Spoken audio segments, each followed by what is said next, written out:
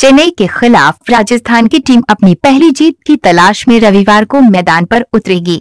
इस मैच में टॉस जीतकर राजस्थान की टीम ने पहले गेंदबाजी करने का फैसला लिया था।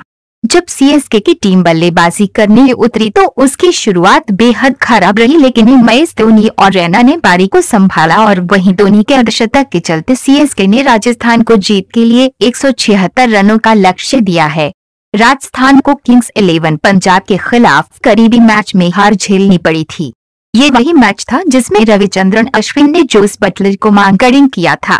इसके बाद उसे सनराइजर्स हैदराबाद के खिलाफ कल रात बड़े स्कोर वाले मैच में हार झेलनी पड़ी थी। संजू सैमसन ने नाबाद 102 रन बनाए, लेकिन रॉयल्स एक सौ अट्ठानवे रन का स्कोर बचाव करने में नाकाम रहा।